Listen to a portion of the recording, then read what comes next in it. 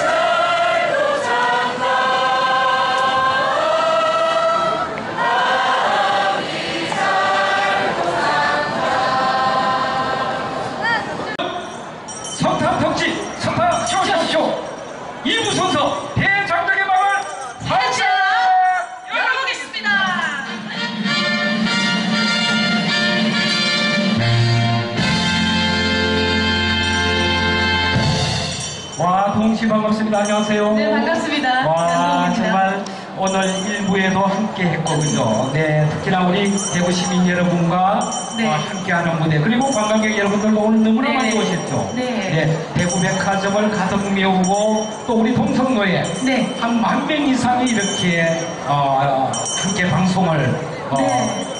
애청해 주시는 것 같아요. 그죠? 예. 또 아마 이 TV를 통해서 시청해 주시는 전국에 계시는 어, 시청자 여러분, 그리고 레디오를 통해서 어, 애청하고 계시는 애청자 여러분들 정말 네. 즐거우실 것 같습니다. 네. 그죠? 네. 자, 2부에 혜용 씨가 오늘 여러분에게 선물해드릴 곡은 이정표 없는 거리. 청해 듣겠습니다. 큰 박수로 맞이해주세요. 여러분에게 들려드릴 곡은 이정표 이정표 없는 거리를 권혜영 씨의 목소리로.